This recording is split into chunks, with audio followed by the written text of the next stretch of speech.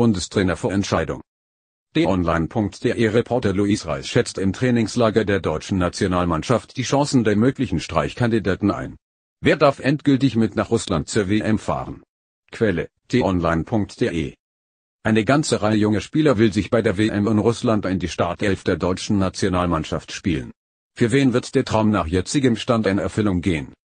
Julian Brandt, Leon Goretzka, Joshua Kimmich, Leroy Sen, Jonathan Tah, Timo Werner, sie alle zählen zu den größten Fußballtalenten der Welt und kämpfen derzeit im Trainingslager der deutschen Nationalmannschaft in Eppern, Südtirol, um einen Platz im endgültigen WM-Kader.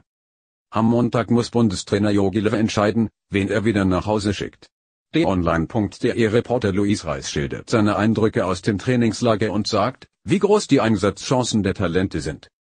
Liebe Leserinnen und Leser, aktuell steht Ihnen leider keine Kommentarfunktion zur Verfügung. Wir freuen uns, Sie ab dem 11. Juni in unserer neuen Community begrüßen zu dürfen, die wir bis dahin schrittweise einführen werden. Wir wollen den Kontakt zu Ihnen vertiefen. Die Redaktion wird im Kommentarbereich aktiver sein, so dass Sie auch mit Redakteuren diskutieren können. Außerdem warten auf Sie viele Verbesserungen und neue Funktionen. Antworten auf Ihre Fragen und einen Überblick über die neuen Funktionen erhalten Sie hier. Leider ist es nicht möglich, alte Accounts und Kommentare zu übernehmen. Auch in der Zwischenzeit können Sie gerne auf Facebook und Twitter zu unseren Artikeln diskutieren. Ihr Community Team